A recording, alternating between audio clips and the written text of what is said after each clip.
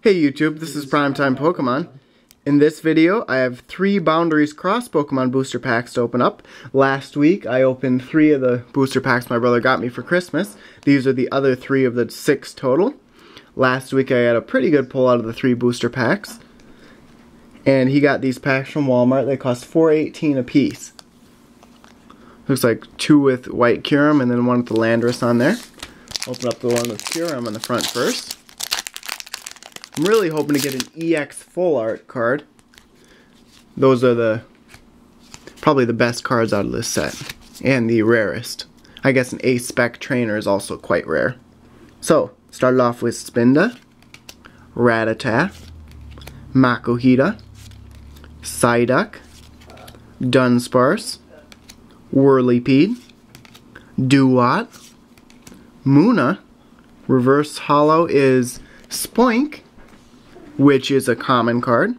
And then the rare in the pack oh, is, an, is a Crustle Holo. So a very good start to the three packs here. Start off with a Crustle Holo. And I don't think I pulled that holo when I opened my booster box a while back.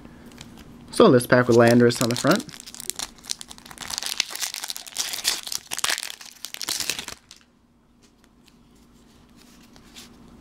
Move the code card aside.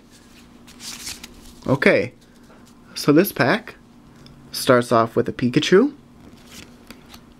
Energy Search Trainer, Scyther, Potion, Oshawott, Watchog, Petilil, Herdier, Reverse Holo Dusknoir, is that a rare? Yep, Reverse Holo Rare is Dusknoir, and the actual rare in the pack is a Jellicent.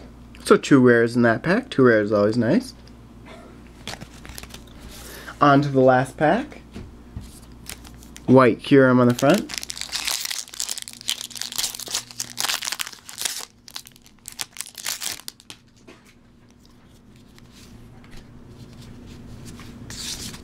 Okay, so this pack starts off with Electabuzz. Once the camera focuses, there we go, Electabuzz, Oddish, Lillipup, Squirtle, Sandshrew, Darmanitan, Swanna, Klink, Town Map, Reverse Holo Trainer, which is an uncommon, and then the rare in the pack, Golduck.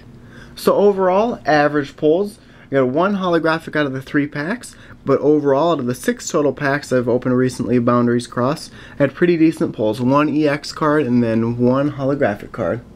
So, thanks a lot for watching. Before you go, check out all the links in the video description below, my Facebook blog and Twitter links, and stay tuned for more videos. Thank you.